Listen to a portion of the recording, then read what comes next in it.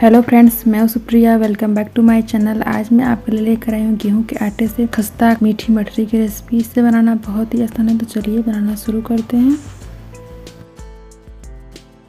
मीठी मटरी बनाने के लिए मैंने लिया है डेढ़ कप गेहूँ का आटा, पाँच चम्मच सूजी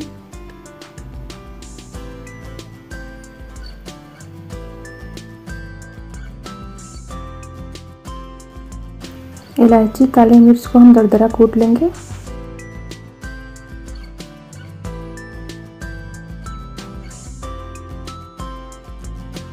दो पिंच नमक। दरदरी कुटी हुई इलायची, काली मिर्च।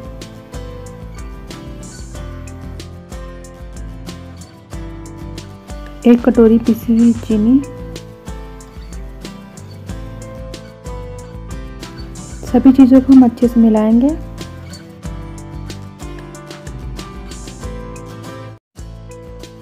मैंने सभी चीज़ों को अच्छे से मिला दिया है। इसमें हम चार बड़े चम्मच तेल डाल देंगे।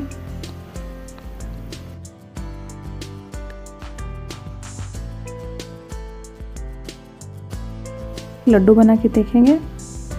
देखिए हमारा लड्डू बन रहा है मतलब हमारा म्यून परफेक्ट है। गुनगुने पानी से हम आटे को गूंथ लेंगे। आटे को हमें ज़्यादा गूंथना नहीं है।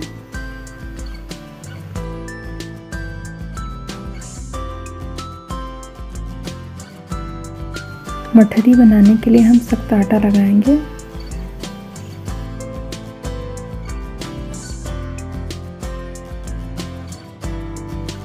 आटे को हमने गूंथ लिया है। आप देख सकते हैं कितना सख्त आटा है। अब इसको हम कॉटन के कपड़े से ढक के 10 मिनट के लिए रख देंगे। 10 मिनट हो गए हैं, आटे में से हम एक लोई तोड़ेंगे।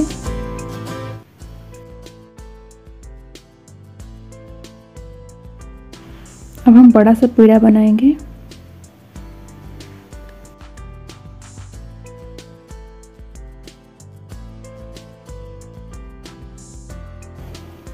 हल्के हल्के हाथ से प्रेस करेंगे।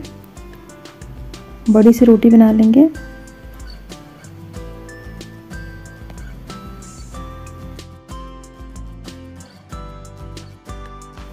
मटरी के लिए हम इसको चौकोर शेप में कट करेंगे तो साइड से हम इसे निकाल लेंगे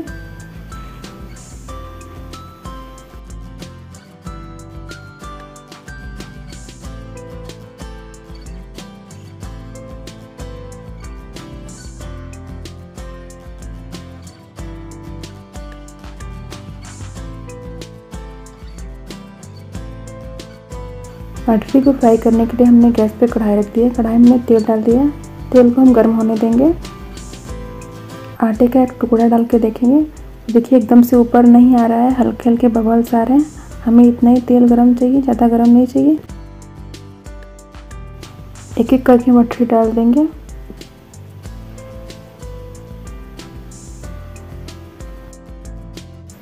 एक बार में जितनी आ जाए उतनी डाल दें। बाकी बची हुई मछली को हम दोबारा फ्राई करेंगे। मटरी को हम लो फ्लेम पे फ्राई करेंगे। एक साइड से सीख गई, उसको हम पलट देंगे।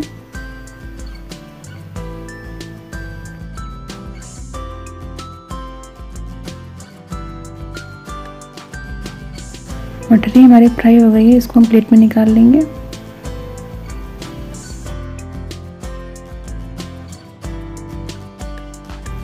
बाकी बची मटरी को भी हम इसी प्रकार से फ्राई कर लेंगे।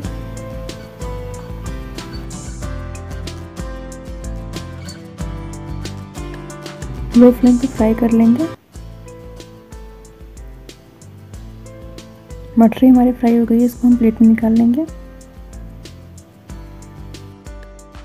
हमारी खस्ता मीठी मटरी बनके तैयार है। आपको हमारा वीडियो कैसा लगा हमें कमेंट के द्वारा ज़रूर बताएँ।